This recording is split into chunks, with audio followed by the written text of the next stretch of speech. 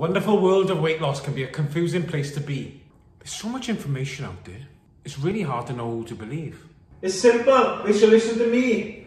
What are you talking about? You haven't got a clue. They should listen to me. You're alright, you. I know more than you.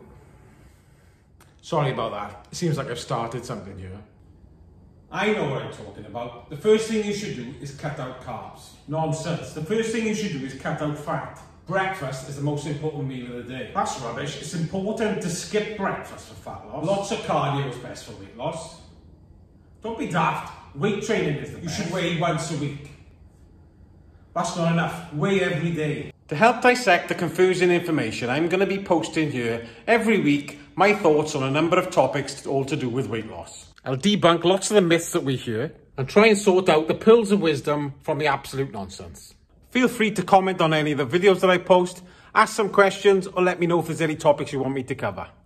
In the meantime, if you haven't already, download the Leisure Lifestyle app have a look on the Leisure Lifestyle YouTube channel and make sure you hit the subscribe button so you don't miss out on any future content.